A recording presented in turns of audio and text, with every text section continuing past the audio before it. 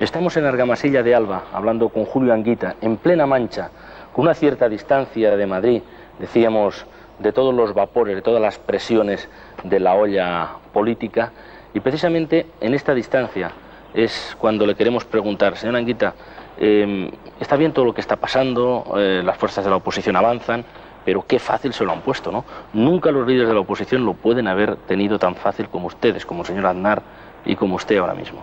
Bueno, a algunos, algunas fuerzas políticas, le ha costado tiempos de soledad. Las cosas que yo estoy diciendo hoy aquí en este programa no varían mucho de las que he dicho hace años y las cosas que a mí se me han dicho. Le pondré un ejemplo. Cuando en el año 93 planteábamos nosotros la reducción de la jornada de trabajo como un paso hacia adelante, medidas que está estudiando ya derecha francesa y la derecha alemana, pues hubo en España que nos dijo, a mí en concreto, que era una especie de fabricante de pócimas alucinógenas. El mismo señor que cuando el señor Rocard lo plantea en Francia, lo pone por los altares. Izquierda Unida ha pasado unos años muy duros, muy difíciles. Ha hablado contracorriente. Y eso es una cosa que tiene que hacer a veces la izquierda. Contracorriente. Pero ha mantenido explicando constantemente. A nosotros el, puesto que estamos, que tampoco es un puesto, somos la tercera fuerza política a mucha distancia de las otras dos, ¿no? Nos ha costado sufrimiento, paciencia, tesón y soportar auténticas y aceleradísimas críticas. ¿eh? Pero aún así estará de acuerdo que ahora se lo ponen fácil. Bueno, pero más fácil lo tiene el señor, el señor Aznar. El señor Aznar que tiene muchísimos más diputados, que tiene una fuerza que es, que es mayor y que francamente mucha gente casi ya lo da como presidente. ¿Usted no echa en falta un poco de autocrítica en Izquierda Unida? Le pongo un ejemplo. Cuando el señor Antonio Romero, la señora Aguilar en algún momento, pero sobre todo el señor Romero, otros diputados del PP también han hecho eso. Pero dicen, Roldán está muerto, concretamente llega a decir, eh, estará ahogado en las bañeras de algún gran hotel de Suiza y cosas de esta naturaleza. Eh, luego aparece el señor Roldán ¿Usted no cree que un poco más de autocrítica por parte de quien haya cometido el exceso verbal daría más credibilidad a Izquierda Unida? Sí, yo desde luego nunca he oído a Romero decir eso. ¿eh? He oído que, que han dicho que lo ha dicho, yo nunca lo he oído cosas parecidas. Usted sabe, lo tendrá muerto el gobierno, no le interesará que aparezca. Todo este tipo de cosas que merecían un poquito de autocrítica, ¿no? Pero en todo caso sería la opinión del señor Romero. La opinión de Izquierda Unida se da en los órganos. Pero quiero ser sobre todo también consecuente los españoles y españolas que nos estén viendo y escuchando, que recuerden los tremendos insultos que Alfonso Guerra le lanzó al presidente Suárez. Eso nadie lo ha superado en España todavía. A partir de ahí, yo recomendaría también a los españoles y españolas que aprobasen, que, perdón, que leyesen la tremenda autocrítica que Izquierda Unida se hizo en el informe que yo planteé en la Cuarta Asamblea Federal. Seguramente en la historia de las fuerzas políticas en la etapa democrática, ninguna otra fuerza política se ha hecho tan feroz autocrítica como la que Izquierda Unida se hizo. Eh, yo me comprometo a mandárselo usted mañana para que vea cómo también sabemos darnos golpes de pecho durísimos y entonarme a culpa cuando nos equivocamos. Yo me comprometo a leerlo, pero mm, públicamente parece que la autocrítica ayudaría a que haya credibilidad. Pero si cuando yo leí el informe estaban, como siempre, todos los medios de comunicación de España estaban allí. Porque hacemos una cosa que nadie hace en España ni en Europa, ¿eh? que es que cuando nosotros discutimos están ustedes allí. Cierto. Y eso significa un avance tan extraordinario que también la autocrítica consiste en que nuestras miserias, pues están, las sacamos para que la gente las vea, ¿no? Y esto nos sirve porque nos saneamos. Pero usted sabe, señora Anguita, que lo que yo le estoy planteando es el fondo de la situación. Una cosa es hacer oposición, hacer crítica, y otra cosa es tener responsabilidades de gobierno. Y parece que está llamada Izquierda Unida, aplicando las encuestas, a que el 28 de mayo, a partir de esa fecha, tenga eh, más poder en ayuntamientos o incluso en comunidades autónomas. Lleva usted razón. Pero la historia nos demuestra una cosa. Desde el año 90 le vinimos planteando al presidente del gobierno alternativas, queríamos discutir nuestras propuestas. Él siempre nos decía, ustedes están en otra galaxia. No, no, no, queremos discutir con usted. El 5 de abril le planteamos 25 propuestas, entre ellas la creación de una banca pública que después crearon la Corporación Argentaria, entre ellas un plan director de infraestructuras que después copiaron por lo menos el título, o el tema de la ley de jurado, pero nunca se han hecho caso. en el año 93 le planteamos, señor presidente, queremos discutir con usted programas. Nos dijo que sí en carta, yo le respondí que fijase la fecha y hasta hoy. La historia nos ha demostrado que nosotros hemos querido discutir con el presidente del gobierno sobre concreto. Nos hemos querido mojar, no nos ha aceptado, ya pasó ese tiempo. El día 28 nosotros que tenemos alcaldes y alcaldesas, por ejemplo yo lo fui y el alcalde actual de, de Argamasía de Alba lo es, tenemos experiencia municipal, tenemos experiencia autonómica como parlamentarios y tenemos un programa. Y a partir de ahí nosotros sabremos, allí donde gobernemos, aplicarlo, porque verá usted, lanzo una pregunta que a la gente a lo mejor le puede pensar porque la retota al 82. ¿Qué experiencia de gobierno tenía don Felipe González Márquez? No había sido ni concejal. ¿Qué experiencia de gobierno tenían algunos de sus ministros? Porque algunos habían sido alcalde, el señor Serra.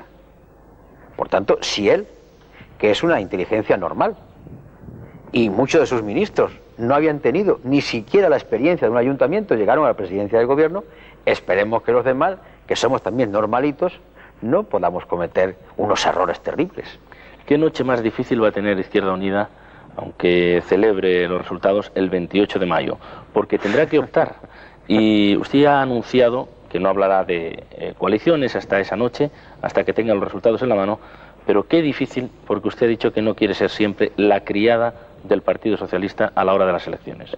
Difícil, pero es una dificultad que el propio pueblo nos coloca. Le voy a poner un ejemplo. Yo voy por la calle, en tantos viajes que hago, y se encuentra uno con un ciudadano, votante medio de izquierda, y le dice, no, no haces posible que entre la derecha, impedid que la derecha entre. Eso se lo dicen a usted en la calle. Uno. Uno da cuatro o cinco pasos y llega otro, del mismo tipo, ¿no? ¿Vais a pactar con estos, con lo que están haciendo? Entonces, tenemos que decir, vamos a serenarnos. ¿Y cuál es la solución? Muy fácil. A los que nos dicen que la derecha no entre, voten ustedes Izquierda Unida, la derecha no entre. Y a los que nos dicen, vaya a pactar con esto, voten ustedes Izquierda Unida, verán ustedes cómo tenemos necesidad de pactar. La cosa está muy clara. Eso queda bien en la campaña electoral, pero habrá que optar, y después de serenarse, como usted dice, pues habrá que optar por las alianzas. Las alianzas, eso los mide el programa. Nosotros tenemos un programa, y aquí está el programa, y el que quiera saber algo, que coja el programa. Es decir, no es descartable que en algunas ciudades de España, en base a ese programa, haya una coalición o un apoyo del grupo municipal entre Izquierda Unida y el Partido Popular para que haya un alcalde? Mire usted, nosotros decidiremos con nuestro programa. Y cuando digo que nuestro programa es lo que vale, en cada sitio verán los compañeros qué es lo que vale en cada sitio. Lo único que yo quiero señalar es que no tenemos compromiso absolutamente con nadie, nada más que con la gente que nos vote y el programa. Nadie nos demande nada, nadie nos pide nada y sobre todo un favor, que nadie nos presione al día siguiente. Esta fuerza política tendrá que sentarse a ver los resultados tranquilamente y a decidir democrática y efectivamente. Y así lo hará, no se trata de presionarle, se trata simplemente de ver si como hipótesis eso es posible. La hipótesis es que nosotros tenemos un programa y aquellos que estén de acuerdo con nuestro programa, pues digo yo, supongo yo, esto no es adelantar nada, es una pura lógica, serán los preferidos a la hora de hablar, los que más apoyen nuestro programa. Cuando hay un manifiesto de intelectuales y de políticos de la izquierda, gente de Izquierda Unida, gente del Partido Socialista, que habla de la necesidad de recuperar eh, la idea de la izquierda, eh, ¿qué tiene que decir Julianita? Pues varias cosas. La primera que en cuanto apareció esto en la prensa, yo hice declaraciones públicas a través de Canal Sur y dije, estoy deseando recibirlos, quiero hablar con ellos. Pues ni han pedido entrevista, ni tampoco me han mandado su manifiesto, que lo conozco por vías indirectas. Ya han pasado mes y medio. En segundo lugar, que yo estoy dispuesto a recibirlos, pero también les pido a ellos que le pidan al señor González que los reciba, porque supongo que el señor González también tendrá que escucharlos. Y en tercer lugar, que a mí me gustará que me expliquen eso de formar mm, alianza con el PSOE ¿En base a qué programa? Simplemente tengo curiosidad. Y sobre todo, para hacerle una pregunta, ya le voy a dar la pista antes, si me piden la entrevista. Ustedes quieren que nosotros nos aliemos con el Partido Socialista, ¿no? Y a la vez que el Partido Socialista mantenga la alianza con Convergencia y Unión, con la política que está haciendo. Es una pregunta que yo deseo que alguien me conteste un día de estos. ¿Por qué hubo esa discrepancia con los sindicatos cuando llamaban en el 30 de enero a la paz social, al sosiego, porque temían que se estaba destruyendo, digamos, el clima político y pedían que se bajara la crispación. ¿Por qué discrepó usted con ellos? mm, discrepé, hice un comentario. Vamos a ver, yo hice un ligero comentario. ¿eh? Y, solamente ha habido declaraciones de mis compañeros muy suaves, por cierto, ¿eh? muy suaves. Hombre, eh, me llamaba la atención el llamamiento al sosiego cuando realmente el desasosiego venía como consecuencia de aquella política económica que se está haciendo todavía, ¿no? Pero vamos, fue una, mi recuerdo, mi crítica fue un comentario suavísimo, ¿eh? casi de caricia. Y y a partir de ahí han dicho cosas terribles. Unos minutos para mirar dentro de Izquierda Unida también. Algunos en esa coalición se quejan de que sigue mandando lo que llaman el núcleo duro del Partido Comunista y se sienten a veces expulsados de las listas. Usted sabe que pasó en las elecciones andaluzas, pasó en algún momento determinado en las últimas elecciones. Eh, ¿Cómo está esa situación? Porque habrá que hablar de ella también. Sí, esas cosas hay que demostrarlas con hechos. Se demuestran cuando salen la gente de las listas que no son del Sale la gente de las listas tras una votación de la base. Es que eh, aquí las cosas, cuando la, la base vota lo que yo quiero, es democracia. Y cuando no es manipulación del Partido Comunista. Miren, en los debates para las listas hay siempre, por desgracia, problemas, confrontaciones y escenas no muy edificantes. De todos, de absolutamente todos, unos más y otros menos. Las listas, que hubo, como usted sabe, problemas en el año 93, pero es que hicimos una cosa que no hace nadie en España, que la base votó. Ahora dicen, no es que la base estaba influenciada. Es un insulto a la gente pensar que la están lavando el cerebro. En otros lugares que yo he conocido, también ha habido una consulta abajo. No ha gustado los resultados, los mecanismos no son todavía lo perfectos que fueran, pero de luego una cosa, ¿eh? Nuestros mecanismos de elección de candidatos son los más democráticos de todas las fuerzas políticas de España. Pero cuando hay pocas mujeres en las listas, por ejemplo, ¿eso es por elecciones también de la base? Hombre, la cosa está clara. Vamos a ver, vamos a contar la historia. ¿Usted se refiere a lo de Madrid? Pues mire, la cosa muy clara. A las quejas de las mujeres La cosa muy clara. Tengo que el método con que se hizo la lista de Madrid no fue correcto. Además, como se lo he dicho a ellos, se pactó entre familias. Malo. Pero una vez que se pactó entre familias políticas, en aquella lista, en los 20 primeros puestos, no se daba la cuota femenina. Pero aquella lista fue votada por todos. Por todos. Julián Quita, en unos instantes después de la publicidad vamos a entrar en los últimos minutos del programa y si le parece vamos a hablar de la época que viene. Últimos minutos de esta conversación con Julio Anguita, excepcionalmente realizada fuera de Madrid, en este caso en La Mancha, en Argamasilla de Alba, para hablar ahora de la época que viene. Estamos donde estamos y cómo se sale de esto. ¿Qué hay que hacer? Por ejemplo, hablando de Europa, después hablamos concretamente de España. ¿Salir de Europa? ¿Salir del sistema monetario europeo, por ejemplo? Para empezar, eh, hay que empezar a analizar de otra manera. Para empezar, nosotros hemos sido Europa siempre. Nuestra terrible equivocación es que hemos ido de pedigüeños a Europa. Y nosotros teníamos también cosas que aportar. Y hemos ido como el que iba a pedir una limosna o un favor. Este año, con la presidencia española y el año que viene, contemplan la revisión del Tratado de la Unión Europea de Maastricht. hay un momento en que todos los países de la Unión Europea van a revisar si se están cumpliendo las condiciones de Maastricht. Es el momento en que España, si tiene valentía y se explica a su pueblo las cosas, junto con otros estados de la periferia, planteen la alternativa a Maastricht. ¿Y cuál es la alternativa más? La alternativa de Maastricht es simplemente desarrollar consecuentemente el Acta Única Europea. Es decir, mercado único, de acuerdo, pero con una cuestión. Mercado único con armonización fiscal. Es decir, no se puede construir un mercado único cuando cada país tiene una política fiscal distinta. El capital español, cuando quiera, se va a Francia y se va a otro sitio, depende de lo, de lo que le den. Y la segunda parte. La cohesión económica y social no son fondos de cohesión, ¿eh? La cohesión económica y social son políticas sociales justas. Simplemente con que se desarrolle el acta única estaríamos en otra situación totalmente distinta. ¿Y usted cree viable ese posible movimiento cuando se revise Maastricht? Yo creo que es viable, pero aquí hay dos caminos. O luchamos por eso o nos ponemos a sollozar y a llorar como un pueblo que ya no tiene ánimo y que es incapaz de luchar. Lamentablemente la situación en la que estamos no admite sino esta disyuntiva o pelear por construir otra Europa y buscar alianzas. Habrá que hablar con los sindicatos europeos, habrá que hablar con portugueses, con italianos, con griegos, con irlandeses. O eso sí, ¿eh? llorar, poner la mano que nos den algún dinero. Y, curioso esto, ¿eh? Porque cuando entren Polonia y otros estados del este, España será de los países que ponga dinero en vez de recibir, porque entonces ya se coloca el baremo en otra parte, ¿no? Y esta es la disyuntiva que tiene el pueblo español, que yo creo que lo intuye. Si lo interpreto bien, está planteando que haya dos divisiones de Europa y nosotros estemos en la segunda división, porque todos los países que ha citado, Grecia, Portugal, Irlanda, Estoy planteando que esos países se unan para evitar, claro, pero es que es lógico.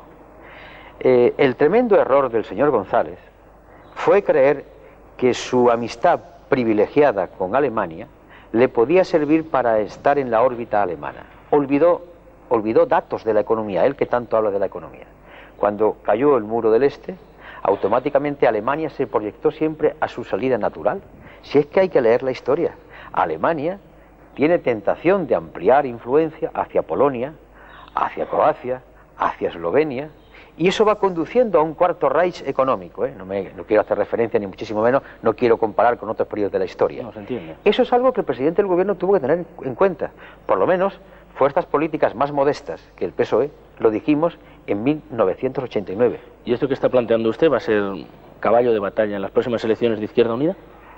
Hace 20 días creamos un grupo de trabajo en Izquierda Unida para hacer el seguimiento de Maastricht. No hay ninguna fuerza política en España que haya hecho esto.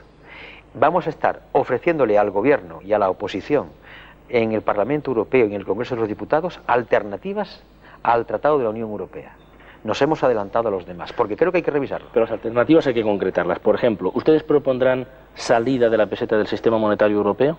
Es una propuesta. Mire usted, la peseta va a terminar por salirse. Yo recuerdo que fuimos la fuerza política que no vio muy claro la entrada en el sistema monetario europeo. En el momento en que estamos haciendo esta entrevista, nos consta que el Tesoro español ha invertido 2,8 billones de pesetas en el mantenimiento artificial de la peseta. Porque el problema de la peseta vamos a dejarnos de juegos del dólar y el marco, es la debilidad estructural de la economía española. Y cada vez que devaluamos y cada vez que vamos a una argucia de este tipo, lo que traemos de fuera nos resulta muchísimo más caro.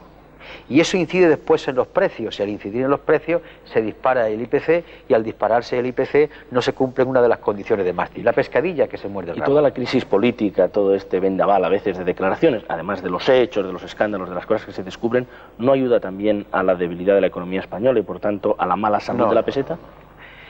Yo creo que aquí el gobierno busca culpables por todas partes, y a las críticas que se hacen les imputa que se crea un estado de opinión totalmente adverso. No.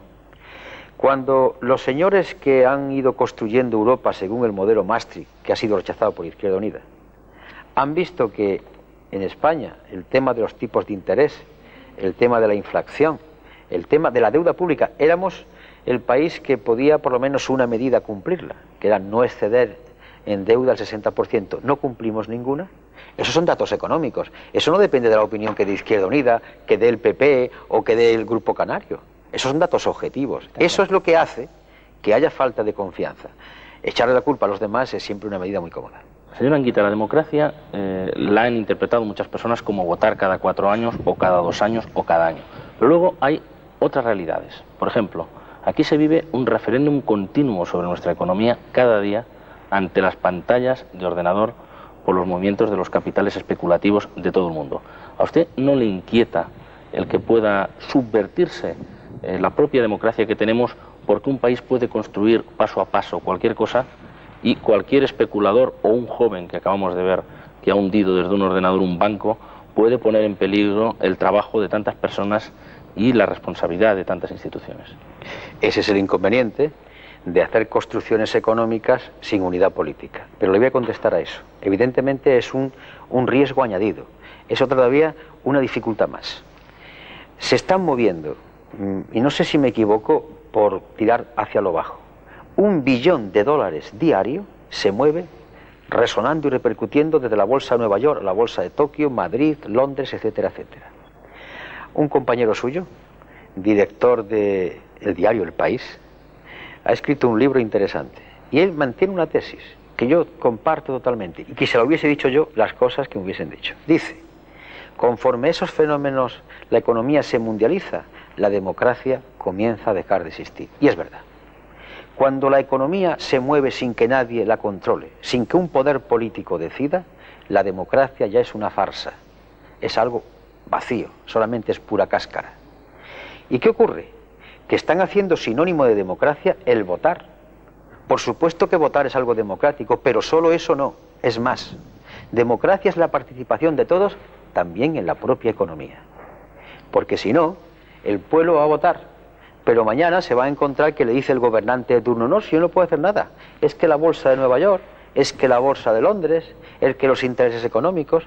Luego, este replanteamiento exige que el futuro gobernante o el gobernante actual sepa que tiene que jugar contra otro adversario más, pero se lo tiene que decir a la gente, porque se puede luchar también, ¿eh? Se puede, pero tengo que decir que con esta filosofía que dice, bueno, la economía que vaya a su aire, la democracia está siendo traicionada, está siendo vulnerada. Lo malo de esta cuestión es que cuatro tormentas monetarias, usted ha citado antes 2,8 billones de pesetas para mantener artificialmente estos, la últimos meses. Bueno, cualquier barbaridad, digamos, de dinero.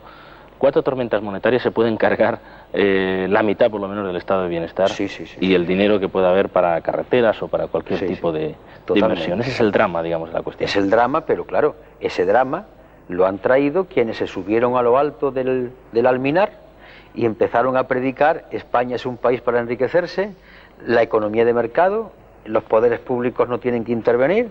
Bueno, pues si no tienen que intervenir, yo digo la cosa muy clara, arrancar viñas, acabar con la flota española, la leche que se compre toda Francia, los congelados también, o no intervenimos. Este es el dilema. ¿Y qué ocurre? Que frente al dogma del muro del este, se ha levantado otra iglesia tan dogmática. La iglesia que dice que no hay más bien que el Dios mercado, que no hay más bien y más Dios que el Dios Producto Interior Bruto y que el Dios competitividad es el sumo hacedor. Es también una religión dogmática. Quizá ya estamos un poco más allí, más allá de la crítica que realmente eh, estaba usted dibujando ahora, porque ya se ha admitido que quizá ha habido un exceso. Lo que pasa es que si estamos en el mundo, no todo lo determina el gobierno actual. Si usted gobernara, señor Anguita, también tendría unos señores al frente de unos ordenadores moviendo capitales especulativos de un lado al otro del Atlántico. Pero verá usted, vamos a admitir lo que usted me plantea como hipótesis, que yo gobernase. El problema es cómo yo llegaría a gobernar. Y le voy a decir cómo sí y cómo no. A mí se me acusa de que soy duro hablando. Yo ayer hablé en Cuenca, hoy voy a hablar en Valdepeñas.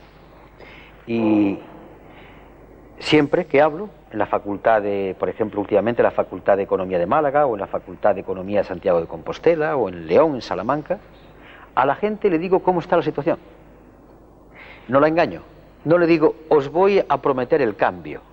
Digo lo siguiente, España para salir de la actual situación necesita austeridad, sobriedad, planificación, solidaridad, corresponsabilidad y 10 o 12 años por delante.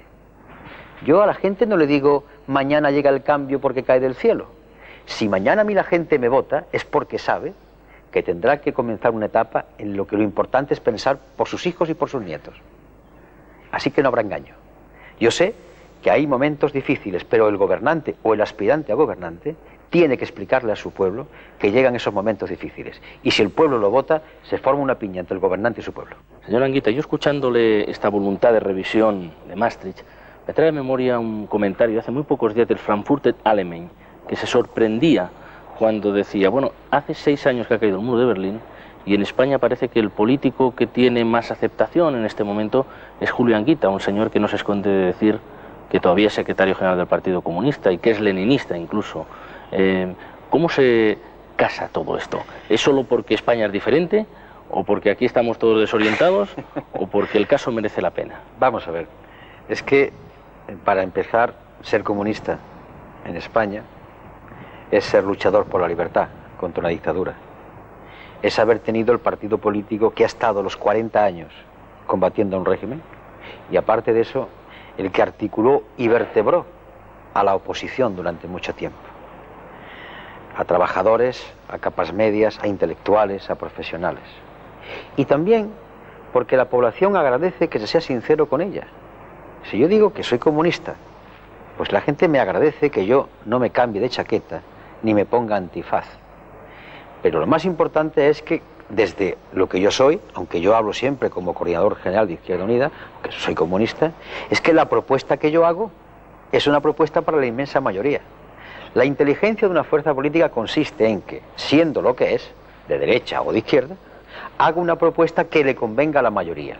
Y eso es lo que estamos haciendo. Por eso los alemanes no deben de extrañarse y además ellos tienen la experiencia del muro de Berlín.